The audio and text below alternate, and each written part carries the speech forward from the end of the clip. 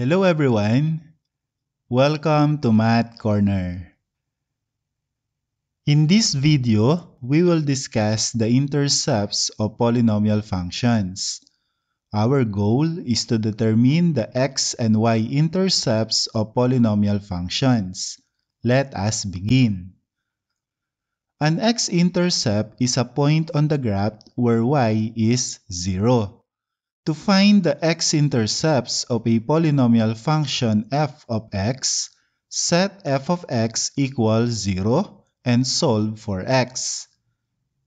A y-intercept is a point on the graph where x is 0.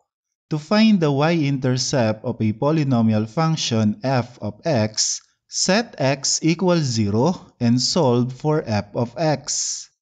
Let us have some examples. Example number 1, f of x equals quantity x plus 4 times quantity x minus 1 times quantity 5x minus 2. Since this polynomial function is written in factored form, we can easily determine the x-intercepts. If we set f of x equals 0, we have 0 equals quantity x plus 4 times quantity x minus 1 times quantity 5x minus 2. Using zero factor property or zero product property, we have x plus 4 equals 0, x minus 1 equals 0, and 5x minus 2 equals 0. Let us solve for x. In x plus 4 equals 0, we need to add negative 4 on both sides of the equation. Since 4 plus negative 4 equals 0, then we have x on the left side. On the right side, 0 plus negative 4 equals negative 4. The value of x is equal to negative 4. In x minus 1 equals 0, we need to add positive 1 on both sides of the equation. Since negative 1 plus 1 is equal to 0, then we have x on the left side. On the right side, 0 plus 1 is equal to 1. The value of x is equal to 1. In 5x minus 2 equals 0, we need to add positive 2 on both sides of the equation. Since negative 2 plus 2 is equal to 0, then we have 5x on the left side. On the right side, 0 plus 2 equals 2. Next, divide both sides of the equation by 5. 5x divided by 5 is equal to x. On the right side, 2 divided by 5 or 2 over 5 is already expressed in lowest term. The value of x is equal to 2 over 5. The x-intercepts are negative 4, 0, 1, 0, and 2 over 5, 0. Next, let us find y-intercept. Set x equals 0.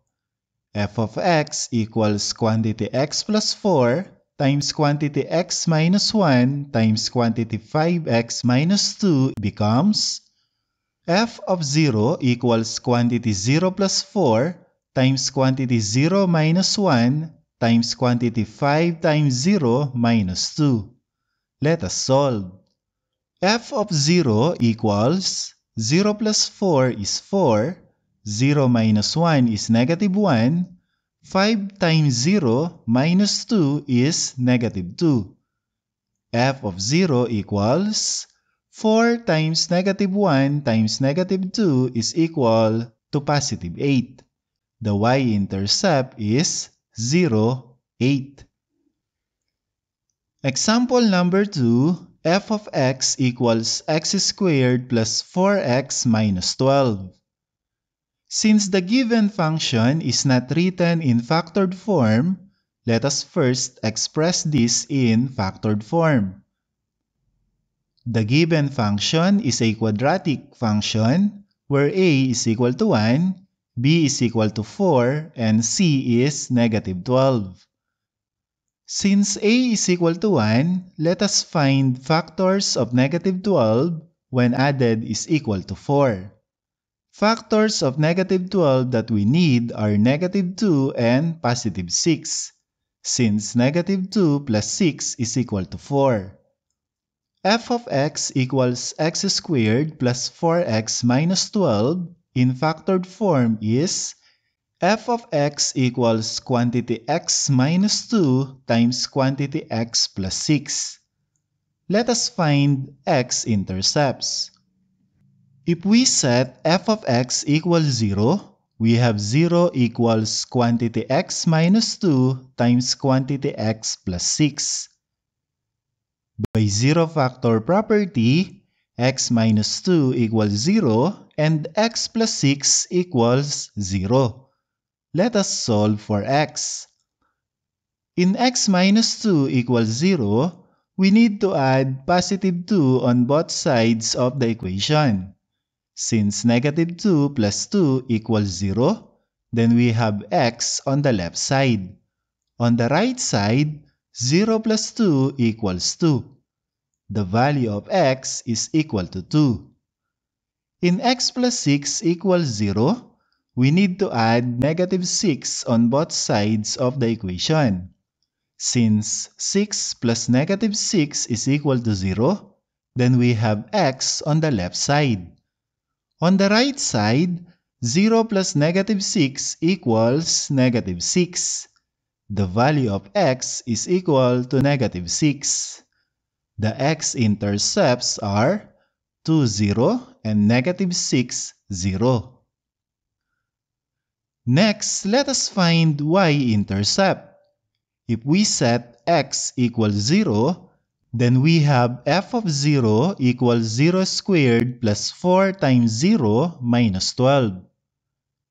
Since 0 squared is equal to 0 and 4 times 0 is equal to 0, f of 0 is equal to negative 12. The y-intercept is 0, negative 12. Last example, y equals x raised to 4 minus 5x cubed plus 20x minus 16. In this example, we will be using rational root theorem or rational zero theorem and synthetic division. To find the x-intercepts, set y equals 0. We have 0 equals x raised to 4 minus 5x cubed plus 20x minus 16. By rational root theorem, the constant term is negative 16 and the leading coefficient is 1. Dividing each factor of negative 16 by each factor of 1, we have positive negative 1, positive negative 2, positive negative 4, positive negative 8, and positive negative 16. These are the possible roots.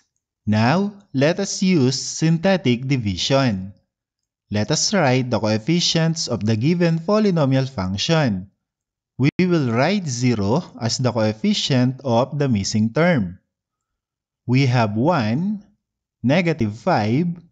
Since x squared is missing, we will write 0. And then we have 20 and negative 16. Let us try positive 1 if positive 1 is one of the roots. Let us bring down 1. 1 times 1 equals 1. Negative 5 plus 1 equals negative 4. 1 times negative 4 equals negative 4. 0 plus negative 4 equals negative 4. 1 times negative 4 equals negative 4. 20 plus negative 4 equals 16. 1 times 16 equals 16. Negative 16 plus 16 equals 0. Since the remainder is 0, it means that 1 is one of the roots of the given polynomial. We have x-intercept 1, 0. Next, let us use the coefficients on the third row we have 1, negative 4, negative 4, and 16. This time, let us try positive 2. Bring down 1. 2 times 1 equals 2. Negative 4 plus 2 equals negative 2. 2 times negative 2 equals negative 4. Negative 4 plus negative 4 equals negative 8. 2 times negative 8 equals negative 16. 16 plus negative 16 equals 0. Since the remainder is 0, it means that 2 is one of the roots of the given polynomial. We have another x-intercept 2, 0. The three coefficients on the third row are the coefficients of the quadratic equation. We have here x squared minus 2x minus 8 equals 0. Let us solve for x by factoring. X squared minus 2x minus 8 equals 0 in factored form is quantity x minus 4 times quantity x plus 2 equals 0. By zero factor property, we have x minus 4 equals 0 and x plus 2 equals 0.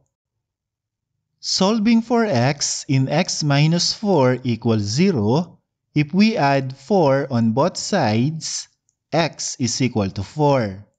Another x-intercept is 4, 0. In x plus 2 equals 0, if we add negative 2 on both sides, x is equal to negative 2. Another x-intercept is negative 2, 0. The x-intercepts are 1, 0, 2, 0, 4, 0, and negative 2, 0. Next, let us find y-intercept. If we set x equals 0, then we have y equals 0 raised to 4 minus 5 times 0 cubed plus 20 times 0 minus 16. What is the value of y? The value of y is equal to negative 16. The y-intercept is 0, negative 16. We are done finding the intercepts of polynomial functions. That's all for this video. Thank you for watching.